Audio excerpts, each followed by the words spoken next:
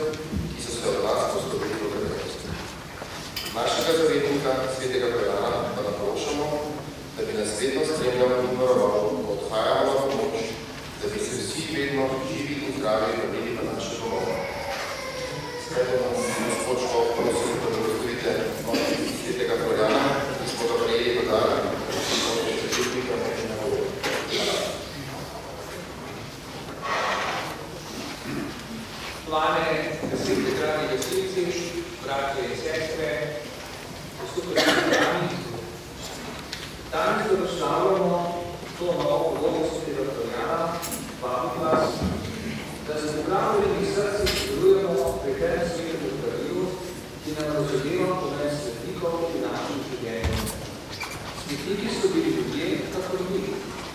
Imeli so radost in probleme, kakor jih imamo tudi. Podjegovali pa so se v zvestovi Bogu. Živeli in uresničili so Jezusa Evangelij. To je častimo, častimo pravzaprav Boga, ki nam je resnico in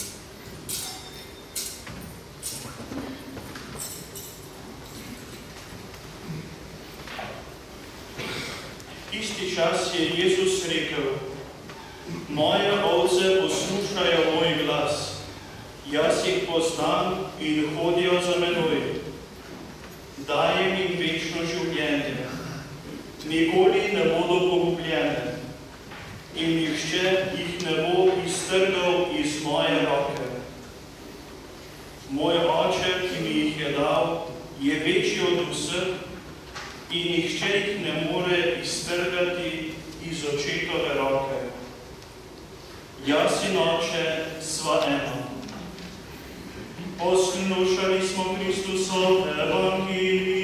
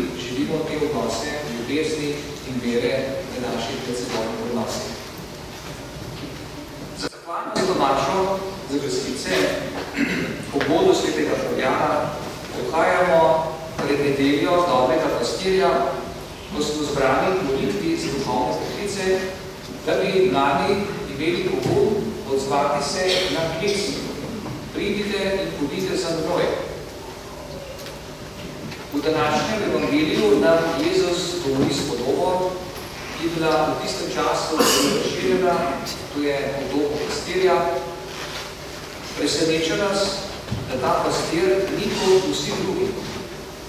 S svojimi ovcami ima poseben odnos naklonjenosti, sledijo mu, on daje življenje in solate, da jih nihče ne more vzeti iz njegove roke. Prikazane so tri značilnosti pastirja v današnjem evangeliju. To je Jezus daje večno življenje, druga značilnost, ovce se ne bodo nikoli izgubile in tretje, nihče jih ne more iztrgati iz gospodove roke. Podomer, ki govori o podobi pastirja in njegovem odnosu do vas in njegovi čredi.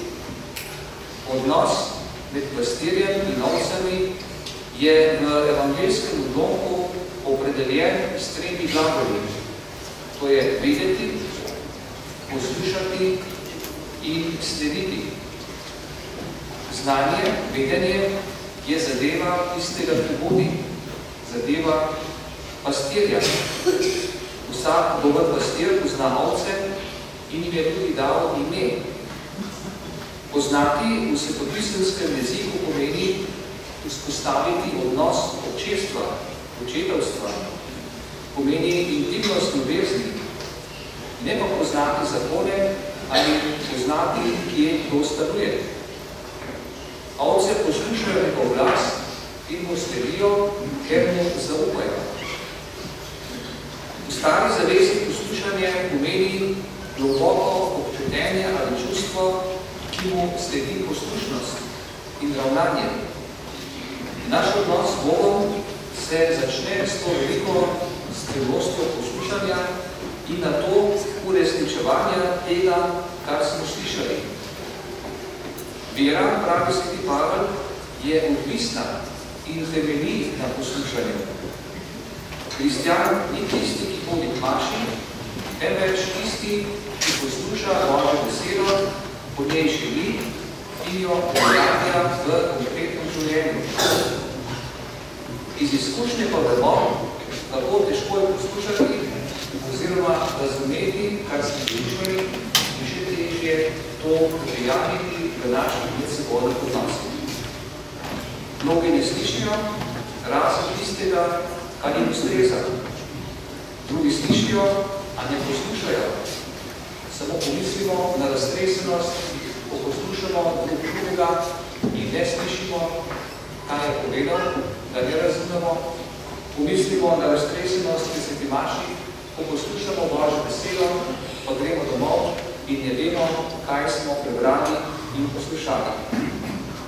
Tretji poslušajo, a potem tega ne uresničujejo in po letih hoje še vedno obtičijo na isti točki.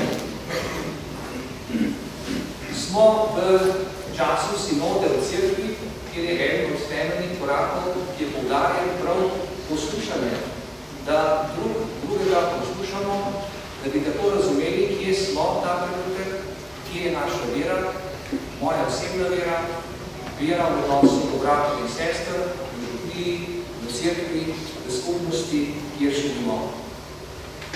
Ko poslušamo drugega, da tudi poslušamo razumeti na poti njegove vere, na ta način tudi lažje razumem sebe v odnosu do krščanskega občestva in do Boga. Jezus je posebno vestil, vodi svojim glasom svojo besedo, nikogar ne sili, ne mu sledi. Njegove ovce ljubijo njegov glas, prepoznajo ga kot resnico in lepoto, ter mu sledijo svobodno in brez prisile.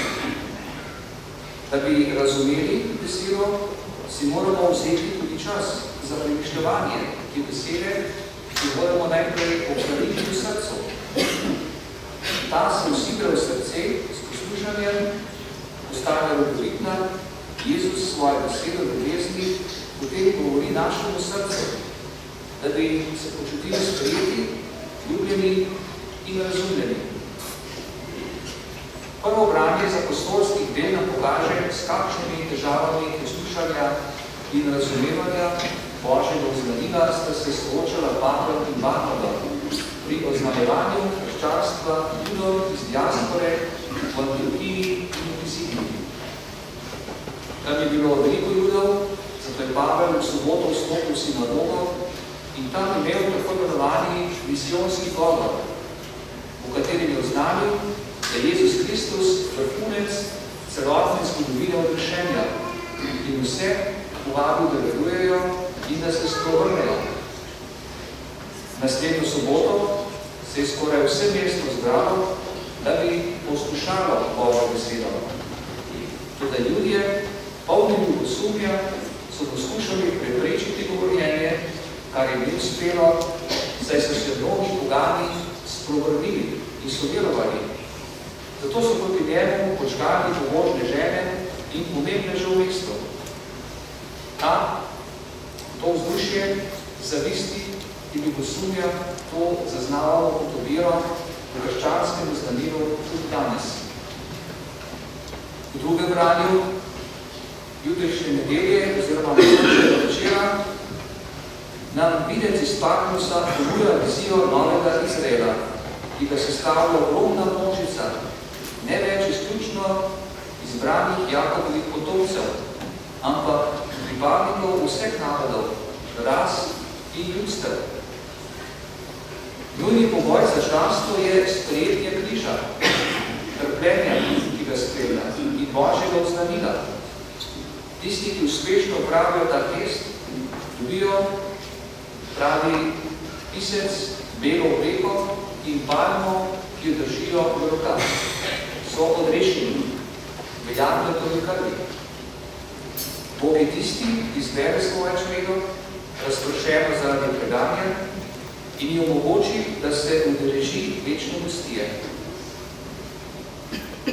Vse, kar je mogoče povedati v krščanstvu, je pravzaprav zbrano v današnji Božji besedi. To je, nihče nas ne more iztrgati iz rok pastirja, ker pripadamo nebeškemu očetu. Razen, če se odločimo svobodno in gremo od njega stran. Drage gasilke, dragi gasilci, delo, vaše delo je poslanstvo, ki želite in za to poslanstvo tudi črpate moč izbire Jezusa Kristusa, ostalega smo v veliko nočnem času in to je tudi pomembno, vhajamo v praznik svetega Floriana, da se tega zavedamo, da delamo ne samo iz svoje moči, ampak da Bog dela po nas. V praksi je zato potrebno upoštevati dinamiko poslušanja in razumevanja, o čemer nocoj različamo. To je nujno za zaznavanje stiske, ko je potrebno hitro priskočiti na pomoč in pomagati bližnjemu. Da razumemo potrebe ljudi, še posebej, ko je potrebno izraziti sočutje, solidarnost in medsebojno pomoč. Na priprošnjo svetega Floriana se modimo danes gospodu za priprošnjo, da bi znali ne samo poslušati, temveč slišati kaj duh govori naši crkvi, grosupeljski dni, gasilkam in gasilcem, vse parametre in grosupe, vsakemu od nas, da bi razumeli, kako ne vršimo vsak svoje poslanstvo in da bi to zato dobili tudi potrebno milost za ustrajanje v tem, kar je prav za dobro, za dobro skupnosti in v glavo vseh ljudi. Čestitam vam ob prazniku, za bodo svetega Floriana, da se vam zahvaljujem za vaše delo, za vašo požrtovalnost in neslično žrtvovanje, čas, ki ga namenjate in darujete za skupno dobro vsako, ki je potrebno in ko se kliče stiska ljudi ali kakšna nesreča.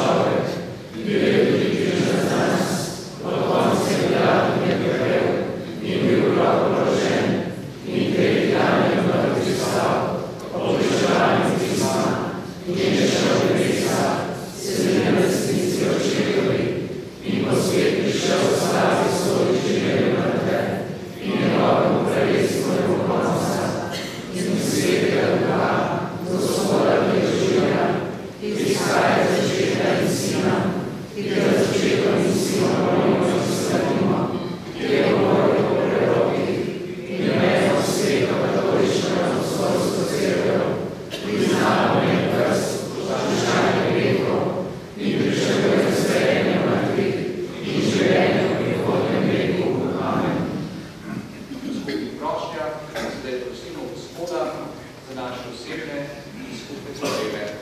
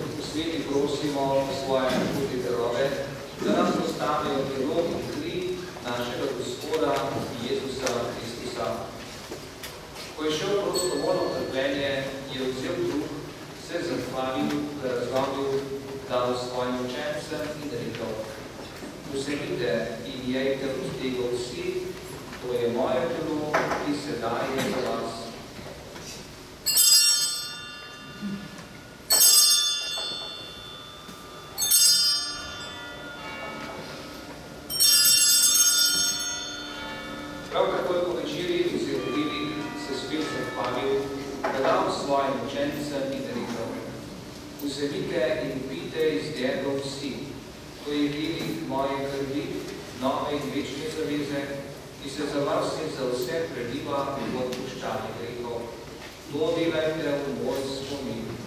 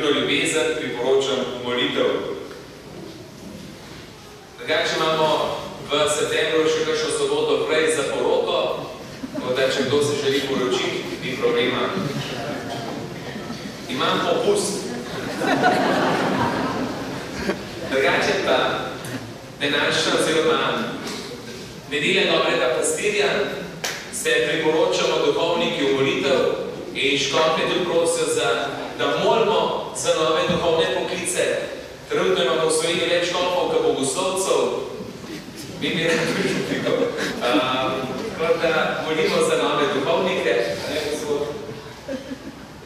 um, v tem tednu imamo pravzaprav devetdnevnico za prvo sveto Hailo. Naši bili prohajenci se bomo vsak dan dobivali, vsak večer. V podelki imamo eno uro pred sveto našo, zvečer še vaje. Šmarničari tudi pridno hodite, vas spodbujam, da bi čim večje število hodili šmarnicam, 29. bomo imeli zato tudi za tiste tam pridne nagradni izlet na Bled, se bomo šli stankat in potem še na otok k Mariji. Drugače pa kar lep obisk pri šmaricah in moram tudi zelo pohvaliti otroke, ki lepo pojejo. Poleg ozanjenih svetih maš imamo še sedmi dan v sredo za pokojno Frančiško Žadar ter sedmi dan za pokojno Marijo Parošek, od katere smo se posvojili danes po v nedeljo ob 19. Kot rečeno, na sedem nedeljo ob 10. pa imamo slovesnost prvega svetega Obhajila. Ta slovesnost ni praznik samo za otroke in njihove starše, ampak je praznik vse župnije, nam vsem pa tudi v premislek, kako prejemamo sveto Obhajilo in kakšen je naš odnos do sveta naše.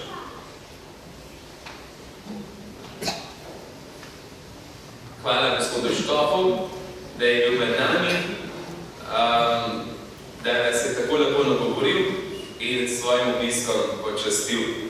Hvala vsem, ki sodelujete na koru, vam spoštovani gasilci, pa iskrene čestitke, veliko zdravja, poguma, dobre volje in hvala tudi za vso vašo pomoč, ki jo prispevate s svojim delovanjem tako v župniji, kot tudi vsem ljudem, ki so pomoči potrebni. Tudi župnik ve, da se lahko na vas vedno zanese. Hvala.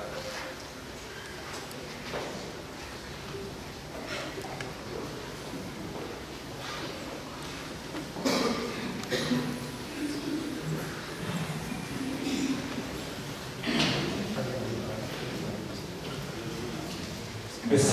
imajo moč.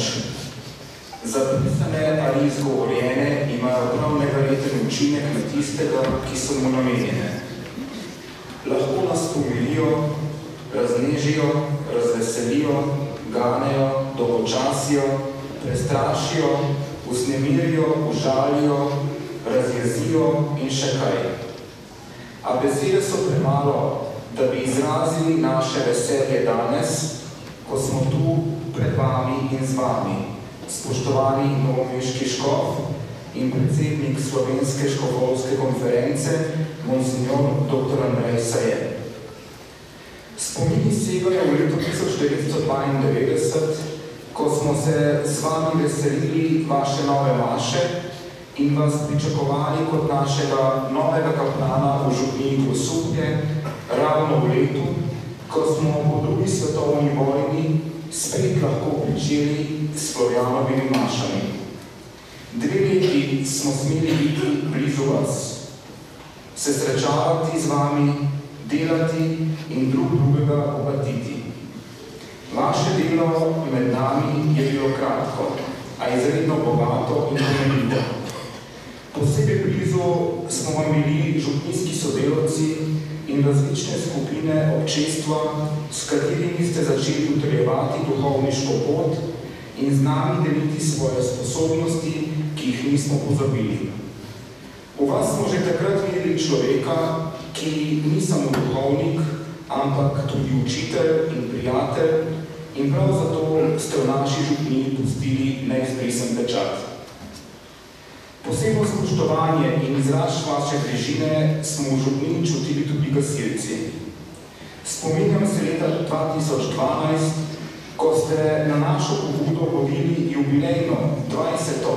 Florianovo mašo v samostojni Sloveniji takrat kot generalni tajnik Slovenske školovske konference. Hvala vam za vašo pripravljenost in čuto ljudi, ki vas imamo preprosto radi. Kljub temu, da so se naše poti leta 1994 razšle, smo ostali povezani z vami. Spoštovani gospod Škof, monsignor dr. Andrej Sajet. Vaše imenovanje za novomeškega škofa ordinarija nas v bistvu ni presenetilo. Upam si trditi, da je izpolnilo naše pričakovanja o človeku, predanemu cerkvi in njej zaupnemu ljudstvu. Z velikim ponosom sem vam na dan imenovanja poslal čestitko in ves ta čas čutil, da ste še vedno eden izmed nas. Župljani župnije Grosuplje smo vam ob škofovskem posvečenju podarili zunanje znamenje, škofovsko mitro. Odsev zlate in rdeče barve, ki jo nosite, naj tudi v prihodnje pomeni uspeh, dosežke, zmagoslavje, blaginjo, ugled in eleganco. Vertikalna in horizontalna bordura na mitri, škofom, ki mitro nosi, simbolizira Kristusov križ. Pet rubinastih kristalov na presečišču pa spominja na Andrejev križ, ki je znamenje, da ste kot škof pridruženi Kristusovemu darovanju na križu za odrešenje vseh nas. Spoštovani vsi prisotni, vrednote, ki jih imamo gasilci, so izredne. Ponosni smo na svoje delo, pogumni v svojih dejanjih in pripravljeni pomagati ljudem, ko nas potrebujejo. Gasilstvo je poslanstvo, je način življenja in je služenje ljudem. Po svojih močeh se trudimo in s tem, ko nas sprejemate take, kot smo, je naš trud poplačan. Iskrena hvala tudi za vsem, iskrena hvala tudi vsem sodelujočim, gasilkam in gasilcem, prostovoljnih gasilskih društev, Gatina, Grosuplje, Spodnja Slivnica, mešanemu ljudskemu zboru Spodnja Danica in Mihajlovim tamburašom, hvala vam, Danica Kutnar, za koordinacijo in posluh ter godne dobre polje. Z vsemi vami je bila slovesnost mogočna in nepozabna. Hvala vam, spoštovani gospod župnik Martin Golob, ki ste prostovoljnemu gasilskemu društvu podarili ta novi kip Svetega Floriana, ki bo odslej ponosno stal v prostorih našega gasilskega centra. Hvala za vse spodbude, odprtost in prijateljstvo. Hvala tudi vam, gospod kaplan Peter Čemaža, za vašo podporo in prisotnost. Naj tudi vaju spremlja sveti Florian med ljudmi, ki so in vama bodo zaupani in med katerimi tako rada in zauzeto delujeta. In ne nazadnje, tudi vam, spoštovani dijakon in škofijski tajnik Janez Neven, hvala za potrpežljivost in posluh. Dragi škof Andrej, hvala vam za današnje dragocene trenutke in čas, ki ste si ga vzeli. Kot škof ste v naši župniji in občini prvič po nastopu škofovske službe in pravno pobudo nas gasilcev, kar nam veliko pomeni znak hvaležnosti vam podarjamo relief svetega Floriana, ki naj vas na vaših poteh varuje ter spominja na današnji dan in župljijo grosuje.